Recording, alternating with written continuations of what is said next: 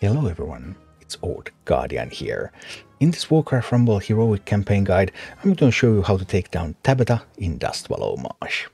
The heroic version of Tabetha stacks the odds even more against you, because these meeting stones, the enhanced meeting stones where potions are being thrown, now potions are only thrown at Tabetha's units, not on your units. So there's healing, there's stealth, and there's bloodlust. Especially stealth and healing are really annoying because stealth means that those minis get to your base without being contested and then this healing actually can out-heal quite a bit of damage so you need some impressive DPS to get rid of those. In addition the meeting stones there's also two gold veins over here both already have gold at the start and there's two chests over here and over there. And really, Tabetha is mostly an economy fight. So you really, really want the key mini that you absolutely need in this one is the Dark Iron Miner. You want to take a stone with the Dark Iron Miner and you want it to mine some of this gold as soon as possible. Depending on where Tabetha is going to start, depends on where you can put your miner. But you want to get this gold, you want to get these chests. If you can get control of the stones and you can get the gold and the chests, Tabetha actually doesn't seem to have a lot of income. You can totally starve Tabetha. And then once you have control of the map, then Tabetha just doesn't have much that's coming at you and then you can easily win. The difficult part is surviving the early assault and contesting as much gold as you can early on in the game so that Tabetha can't just keep swarming you and you will get more resources and then you will be able to push back and once you have the stones then it's pretty much over. This is the lowest level army that I did Tabetha with. The minis are actually exactly level 18 on average, so minus 3.0 levels. And there are three minis here that I always use against Tabetha. And those minis are the Dark Iron Miner, excellent mini here, really important for getting those stones and getting that gold. Then Quillboar and Harpies. Quillboar Harpies are your best shot at actually killing Tabetha because Tabetha has AoE potions that it throws around, so Quillboar to turn it around, Harpies to kill it just works wonderfully. Also, they can they can handle a lot of stuff that Tabetha is going to throw at you otherwise. Then I have Abomination here, and Abomination is really super, super strong here, because Tabetha often makes pushes like Stonehoof Tauren followed by an Ogre Mage, and that can be really painful to handle. But Abomination, hook that Ogre Mage, and you're good to go. Then for the final slots, something against Harpies, because there's also Harpies, and here I have Pyromancer. And then this final slot is quite flexible. Here I have a Banshee in that slot. You have to be a little bit wary with your Banshee though, because there are Stonehoof Taurens, and Stonehoof Tauren can charge a Banshee and kill it. There's also Firehammers, and Firehammer can also potentially kill a Banshee. So Banshee is not easy to use in this map, but stealing some Fire Elementals, even stealing some Taurens when you place it correctly so that it doesn't get charged into can be useful, but there are many other ways to handle that. I will show you a bunch of different alterations. Almost every team that I use uses these four minis. So the Abomination, then the Dark Iron Miner, Quillboar, and Harpies. But then there's the question of Horde. There's always the question of Horde, and that Horde is the most difficult faction because Horde has the weakest arm slots. Horde, for example, cannot buff an Abomination. So I did struggle with Horde a bunch, but I have an answer for that one too. So I actually couldn't find two useful Horde minis for this one, so I'm using Dark Iron Miner without the bonus slot, because Dark Iron Miner's job is not to fight anyway, it doesn't matter that it has lower levels. And my secret source for Horde is Worgen.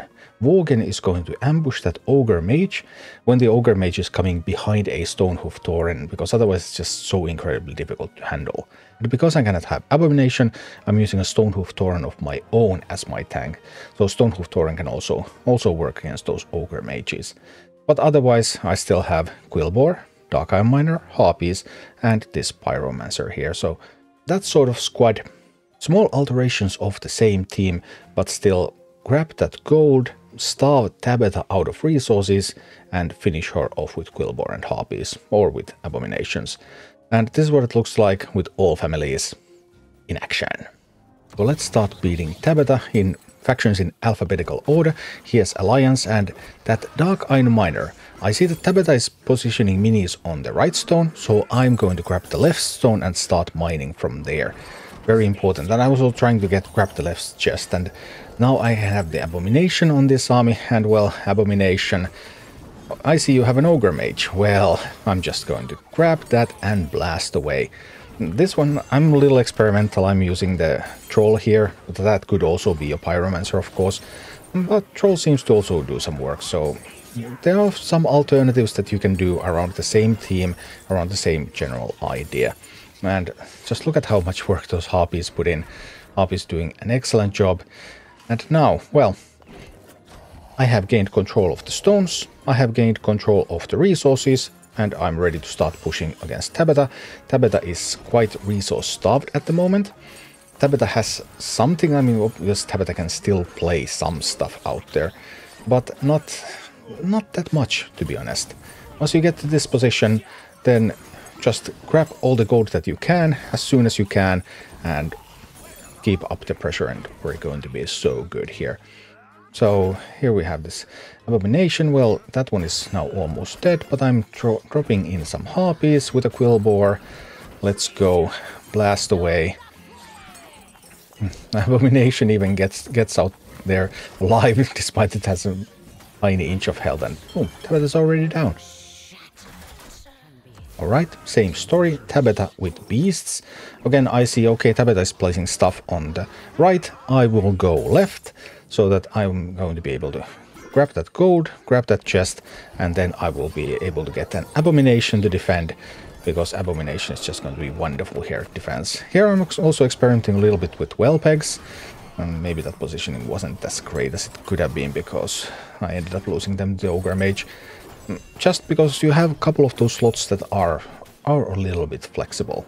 Just trying to have some answers to Ogre Mages, Firehammers and Harpies in whatever way you deem, deem desirable. There we go, Pyromancer's getting some work done. Now, Tabetha has access to one of the stones, but I currently want to fight for this stone. There are a fair bit of these ground minis that are melee minis, so Whelpeks do have the advantage they can shoot at them, and they cannot be shot back, but on the other hand Fire Elemental is resistant, so I'm not sure if those Whelpeks were really that super strong. But I mean, just one option among many others depending on which minis you have leveled. Like, if you have some of these minis really high leveled and others are really low, then you probably don't want to use the low leveled ones. But Abomination is just Abomination is just wonderful in this map. I would not trade Abomination for anything, except for when I'm Horde and I have to.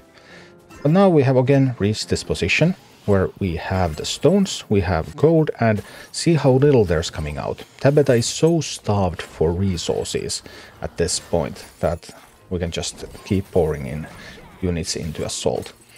And that, that's basically the story of this. The most difficult part of this fight is the early stages of the fight, when there's still a lot of stuff coming at you. Then some Blackrock action. Here we're full three levels below Tabetha's level. But, I mean, it's all gonna be good. Tabetha coming from the right again. Most of the time Tabetha will come from the right.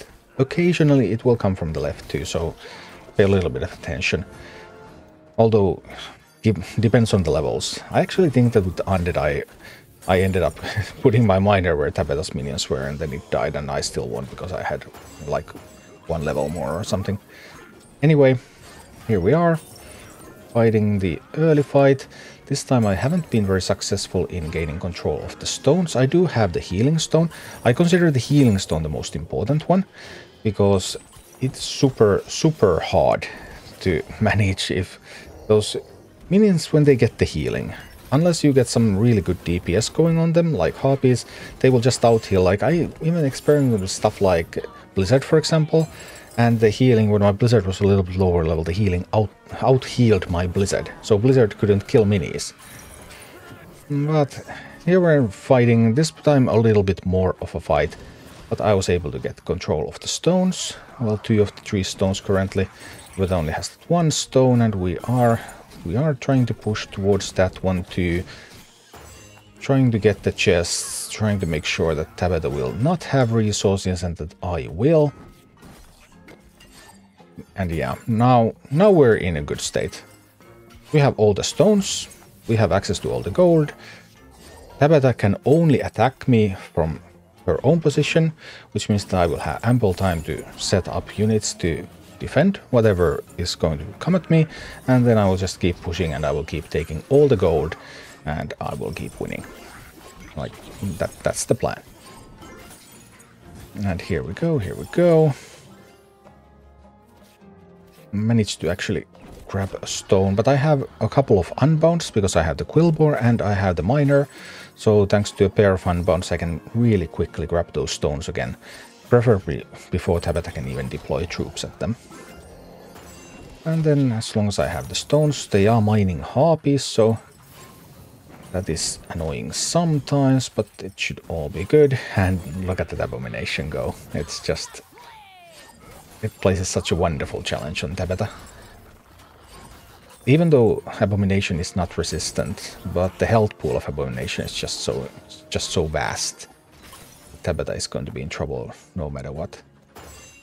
There I actually actually accidentally lost the stone. But I got it back, so no worries. Right, stone is almost ready, we can deploy. So, Abomination tanking from the other side. Now we have Harpies coming from the other.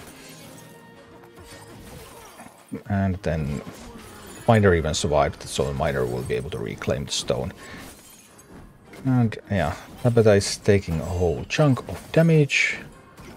I want to keep mining, I want to keep opening chests, and then I want to send units at the minute and boom. Then the most painful one of them all, which is Horde. Again, Tabetha placing minis on the right, so I will take the left, I will mine there, I will grab the grab the chest there. There I had to cycle away the kobold. I didn't have the minis that I wanted to play, so I just threw away the kobold. One gold lost, but it's okay. And here, the Worgen tech, the secret source, secret source of this Horde army.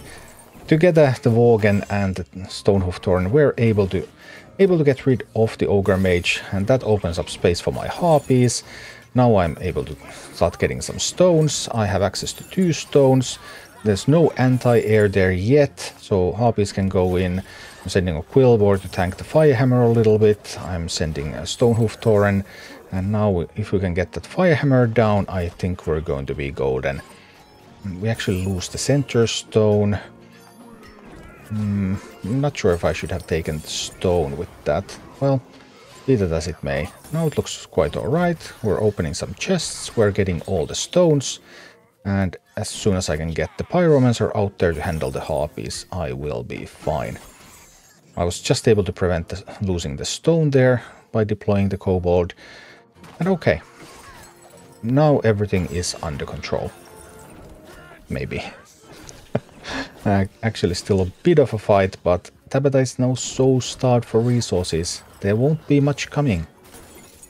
Tabetha's income must be pretty low if Tabetha doesn't have access to gold. Tabetha, I mean Tabetha controls all stones, so Tabetha can get the gold and the chest, and Tabetha has mining harpies at the start.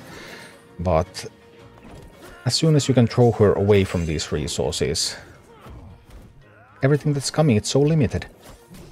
And when you have right kinds of answers, harpies here, I'm getting positive gold trades all the time here.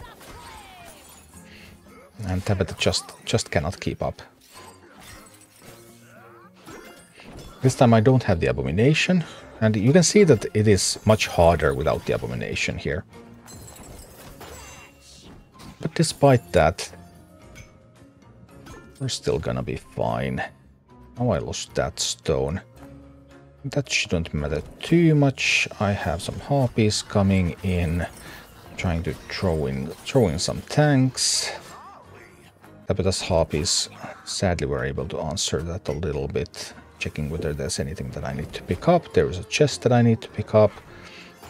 And now I would want to would want to fight for that stone. Hmm. Yeah, as you can see, definitely the weakest performance I have had, but on the other hand, Tabetha is not in a very strong position. Tabetha is is quite wounded, and I have this Harpy Assault coming with the Quillboar to tank. No, two Harpies were distracted. Well, hmm, I have one Harpy coming. Yeah, well, those hobbies were still doing fine. And I can actually just now send send the Worgen, the secret Worgen source, handling Tabetha. And finally, Tabetha with Undead. This was really, this was like a walk in the park after I had to test a whole bunch again, like basically invent the comp anew to get it to work with Horde. And then now I'm getting back to using Abomination and I'm like, oh, Abomination. Good times. Throwing away the miner there's just, just to cycle it so that I can get the Abomination in.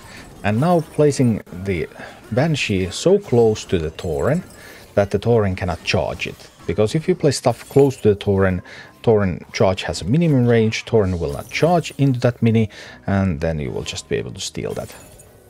Not my favorite thing overall, using the Banshee in this map, but it's it's viable.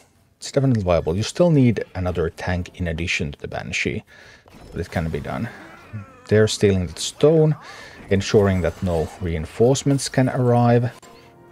Now, if I just had an unbound, I would be able to grab the other stone. That's what I would want to do.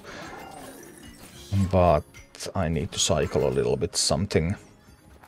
Heading in a Pyromancer here, just in case that Tabetha wants to send something like Harpies. Those Harpies are now going to go a little bit too far ahead. So that actually didn't work quite as well as I wanted it to. But be that as it may, I have access to all the stones. I have access to all the gold. And from here I can just send in stuff. And Tabetha is going to die. So here we go. Let's send in some stuff. And yeah. Tabetha's fate is already sealed. There's there's nothing there's nothing left. Tabetha is so starved for resources. Getting a single fire elemental there will change absolutely nothing. The abomination is abomination is there and boom. That's heroic Tabetha up to minus three levels. Thank you for watching. Click like and subscribe if you enjoyed this, and a special thanks to all of my Patreon supporters, YouTube members and Twitch subscribers who make all of these videos possible.